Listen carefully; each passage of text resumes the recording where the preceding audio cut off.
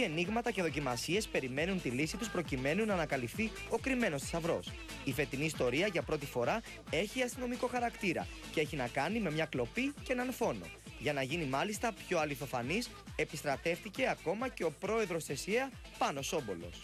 Σε αναβρασμό βρίσκεται όλη η πόλη του Ρεθύμνου μετά το χθεσινό αιματηρό περιστατικό. Όπως κάθε χρόνο, έτσι και φέτος, η ομάδα που θα κερδίσει θα που φέτος παίρνουν μέρος στο κυνήγι. Ήρθα για να τιμήσω αυτή την, ε, τους φίλους και τους ε, κατοίκους εδώ ε, και να συμβάλλω, αν μπορώ να συμβάλλω, στην επιτυχία αυτής της εκδήλωσης. Η ομάδα που θα